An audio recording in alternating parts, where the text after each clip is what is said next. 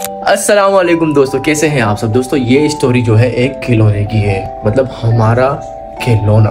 वो खिलौने जो आप लोग समझ रहे हैं, खिलौना वो जो हर किसी की लाडली, हर घर की एक लाडली होती है। हमारी प्यारी सी भतीजी, हमारी मुन्नी शहजादी, जिसको आप कह सकते हैं, छोटी सी।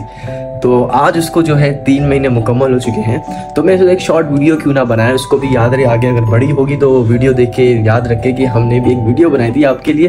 तो ये स्टोरी कुछ यूँ है। तीन महीने पहले हमारे घर में एक शहजादी आई, जिसका नाम है सुंदुस बेबी, और वो हमारे टॉय की तरह है। टॉय टॉय सुन के तो आप लोगों को अजीब लग रहा होगा, मगर असल में यही हमारी एक टॉय है।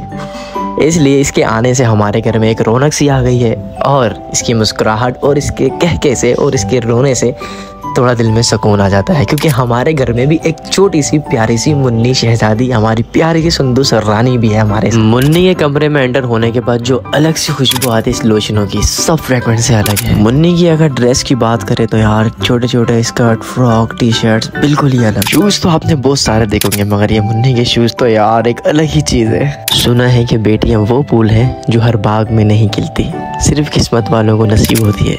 I love you Shahzadi.